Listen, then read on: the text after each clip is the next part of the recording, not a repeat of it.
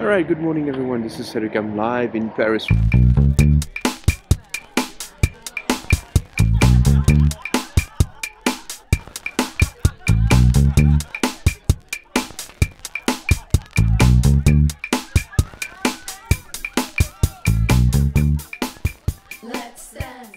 Right now and I realize I'm so tired of filming myself.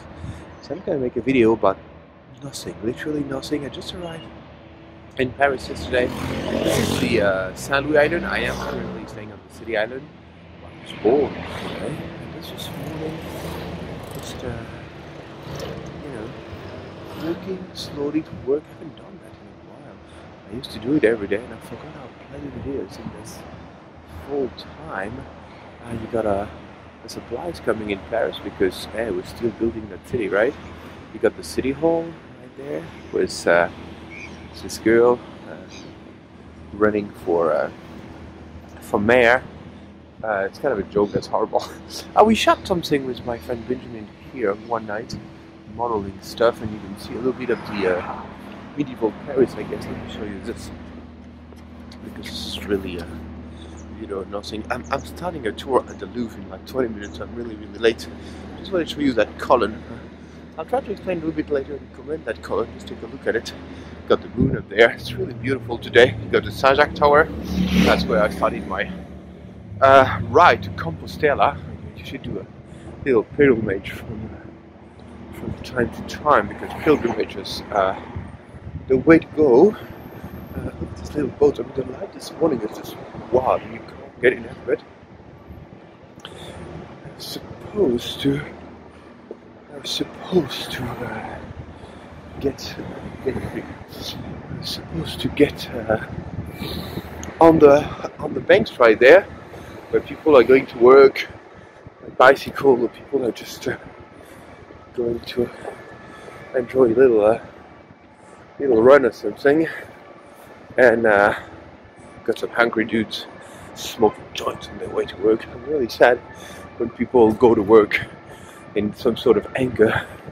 I mean, I don't know about you guys, but I love my job so much. I am actually excited to meet new people today, take them to the Louvre, be surrounded by people on holiday, smiling, be surrounded by masterpieces uh, in the world. Oh, I have the story. I'm, I'm reading a lot of Nietzsche lately, and uh, and I'm finishing my book on paintings. And Jakob Burckhardt, which was friend of Nietzsche, which I didn't know, I just discovered that. So I'm very happy about that uh, discovery. So Burckhardt and Nietzsche, during the 1870 civil war in Paris, that we call La Commune, uh, heard that actually les communeux, that had been nicknamed by Thiers, les communards, uh, put the Louvre on fire, and they were so sad. They live in Bâle, Switzerland. They're not in Paris, right? They were so sad about that news that they decided, both of them, to go meet the other. Oh, that the Hotel Dieu. That's uh, one of the oldest hospitals in Paris, and that's where I was born. They don't deliver babies anymore, so I'm kind of taking a pride in that. They're kind of uh, fighting for years to keep it as a hospital. Know, they're fighting to keep schools open they're fighting to keep uh, libraries open. It's really tough for culture nowadays. Hey, but I keep my smile on, right? you want to keep books and school and stuff like that? Alright, stop believing the power in place and smash the state, right? No, we are still on the city island, and uh, that's a regular traffic here in Paris. I don't know why they blame that poor new mayor of Paris with that traffic. It's always been kind of like that. It's a bit worse than usual, but I mean, you know, if you haven't been stuck in the traffic, I guess like uh, like the traffic LA, or depending what kind of a what kind of traffic, you know, this is like traffic is everywhere. So I'm going to run to get that light right now.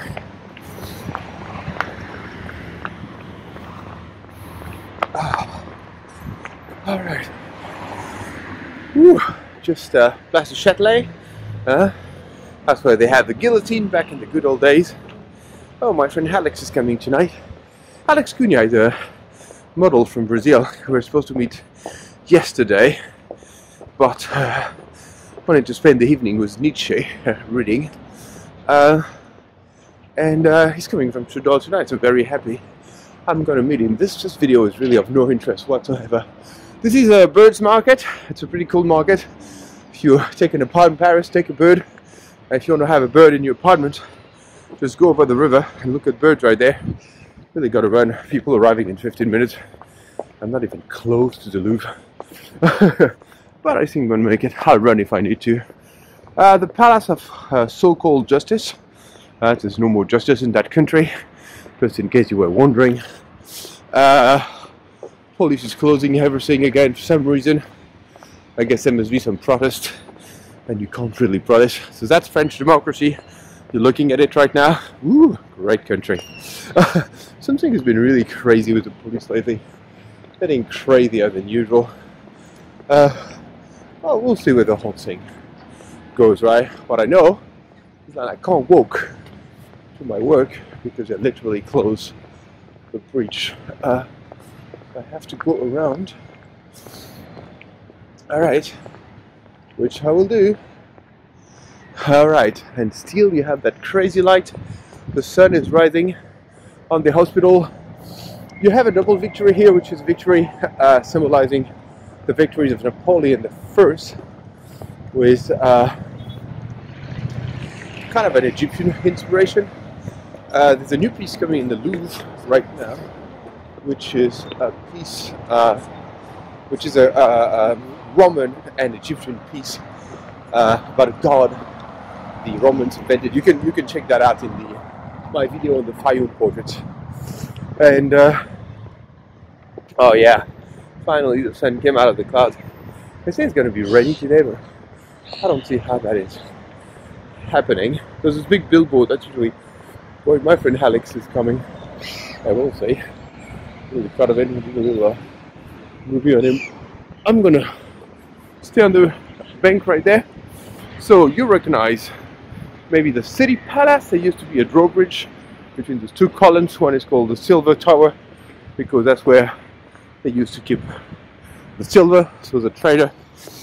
And uh, well, that's pretty much uh, how it is. So this green box that you're looking at right now is called the Bouquiniste, right? People have been selling books here in Paris on the banks from really the Middle Age. So it's really a, a passion to read books. And uh, even if the socialist government shut down the libraries, people will always find a way to keep reading books.